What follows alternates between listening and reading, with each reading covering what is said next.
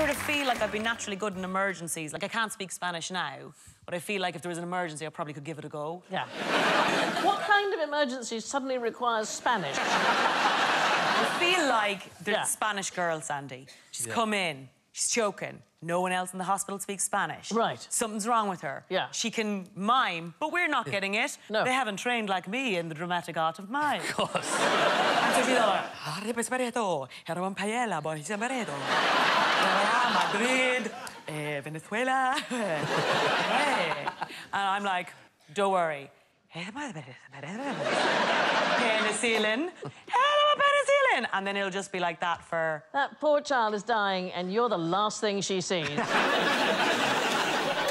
How would you sell a house right next to a nuclear power plant?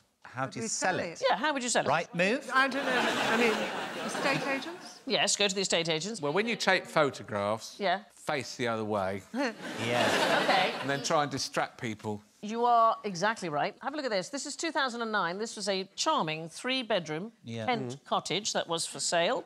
The estate agent failed to mention the view if you stood behind the house. Let's just have a look at the view from... There we are. It's 100 yards from Dungeness nuclear power station, one of the largest nuclear power stations in Europe, and they didn't mention it. Uh, when they were asked about it, they said, uh, the thing is, anywhere on Dungeness is close to the power station. and if, if the nuclear power station are out, you have to collect their deliveries as well. yes, Could you hold on to this glowing box for 12 hours? ancient Greek kylix. So this is a wonderful thing. It's a shallow drinking cup for wine. It's similar to one of these cups, um, but it had obscene pictures painted on the inside, which were gradually revealed. We've censored this because, you know, they would have things like a couple having sex, a man wiping his bottom, uh, naked people, and then an eye cup. So it's a wide mug with eyes and sometimes a nose painted on the outside. It looked like you were wearing a mask uh, when you drank it. And sometimes uh, they painted ships on the inside, so it looked like the ships were sailing on the wine as you drank it. I think we should have more fun with cups. How great that you're drinking, you're getting pissed, and at the bottom of the cup is something that you're probably going to do. Like an drinking. instruction manual? Yes, like, you know what, this is where this is heading. Oh, I feel like that just kind of cuts to I the would be really annoyed though if I got to the end of my cup and I was like, so what now? I have to learn the flute as well.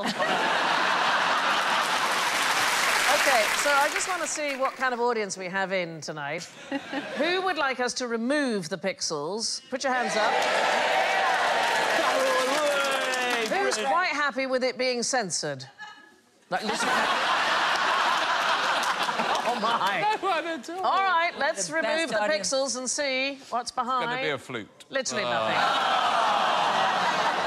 nothing. Genuine disappointment. I had a moment on a flight last week, actually, when I was flying from Aberdeen to Shetland. And I was with my tour manager, who's also a big chap, and we sit next to each other because we're pals. And there was hardly anyone else on the flight. It was only a small plane. And the stewardess came over and she said, uh, Mr. Manford, Mr. Isaac, she said, would you mind separated and sitting on either side of the plane?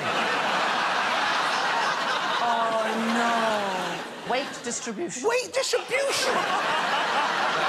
You're as heavy as a wing. so he's going to land like this if we...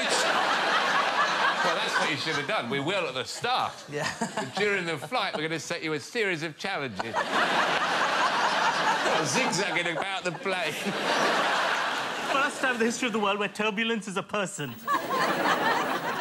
I went to the IMAX to watch Gravity with Sandra Bullock. Right.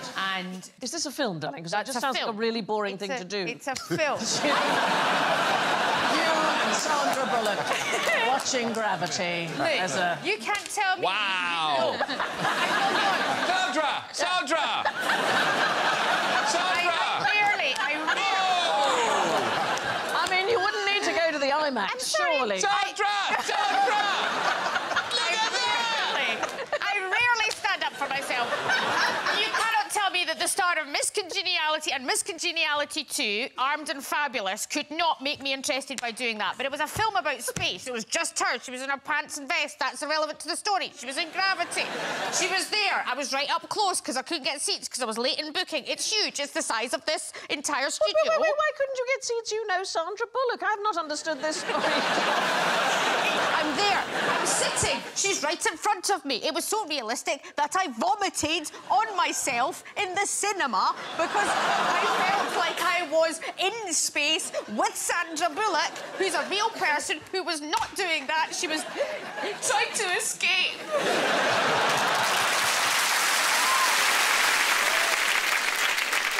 I've only once played roulette, and in extraordinary circumstance. It was quite recently. My wife and I went for a wedding anniversary to Barbados. We were on the beach, sun was setting, wonderful golden sand, and this little old wizened lady came teetering along the beach towards us, and it wasn't until she got to about here that we realised it was actually Mick Jagger.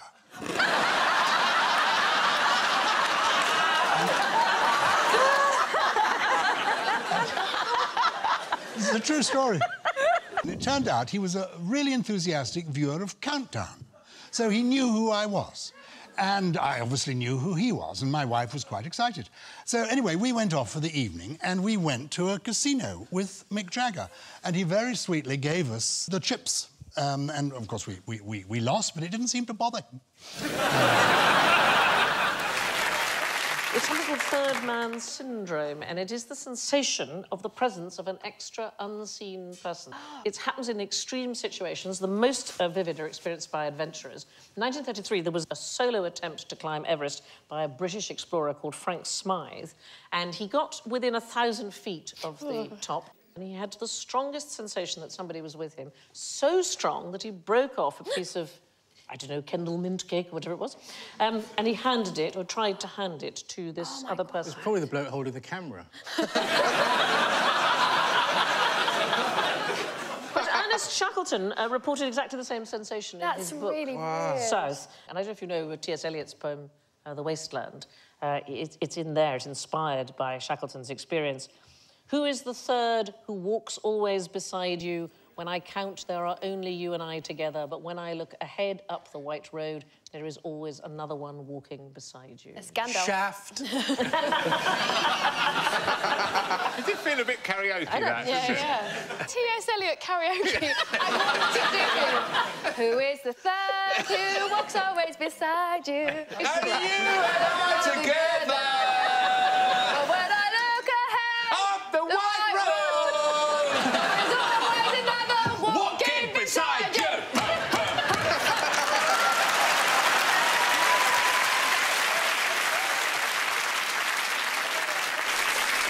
I mean, Irish people naturally all think they're great singers because of a natural sadness in our necks. Like, give, give me a song. Give me any song that I might know the words to, and I'll show you what I mean. Uh, twinkle, twinkle. Twinkle, twinkle, little star, how I wonder what you are.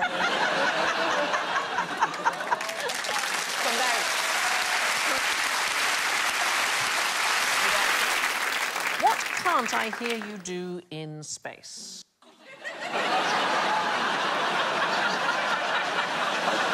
Screaming sound.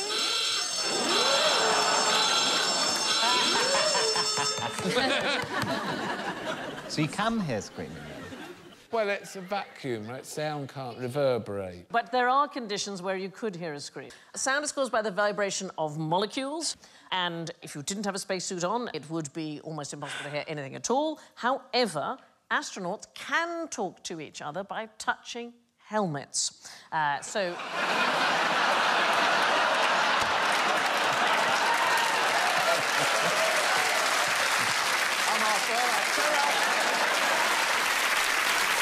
So the sound vibrations, they travel through the air inside the spacesuits and inside the glass, Yeah. enough for them to be able to communicate with raised voices. Mm. And in fact, NASA teach this to the astronauts as a sort of backup in case radio communication fails. Sure. So we're going to try it. You've But both why you got don't get any lesbians in space? you've both got you've both got helmets. Pop them on.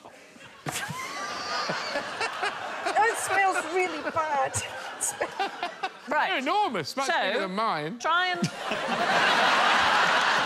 It's much bigger, but mine looks exactly like Caesar. stand up and stand up and touch helmets and see if you can if it helps you to hear. Now, now talk to each other. Hello. I've always loved you. I just like. Does it make does it make a difference? Hello. Hello. I not really, Sandy, I'll be honest. We can't hear you. Can I take it off now? No. yeah, no, go ahead, go ahead. Could you feel the vibrations through the helmet? Uh, I don't think I could really hear, but I don't really understand her at the best of times, so... No, that is fair. this particular building is the place where you will find the burial place of, of Michelangelo, Galileo, Machiavelli, um, Rossini. It's like all this greatness of Italy, and they don't want people just eating sandwiches on the steps. So they had a really simple idea how to stop them doing this. Was it they get the spooky voices of all those dead people Go on away. the loudspeaker? Go away. Stop eating sandwiches. Hey, this is a Michelangelo. I see you enjoy the sandwich. Why are you ruining the steps with your sandwich? You need to stop. It's me, Rossini. The village is gonna be crazy angry when you're eating a sandwich on the steppers. I don't know, none of these are spooky enough voices. No. I- Too I- jolly. Don't you want to see a film where Romesh plays Michelangelo? Fantastic idea. I'm gonna do a ceiling a picture. I love, love, love the music to James Bond. Let's have a quick listen to the original James Bond theme.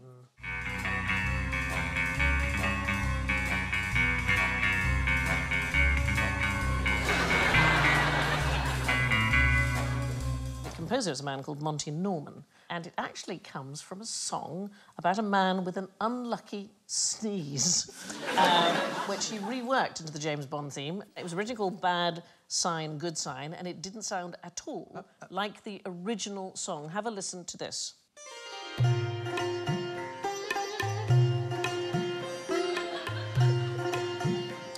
I have some onion bhajis, please? I was born with this unlucky sneeze, and what is worse, I came into the world the wrong way round. Okay, control. stop. Oh, this is surely No, This is true.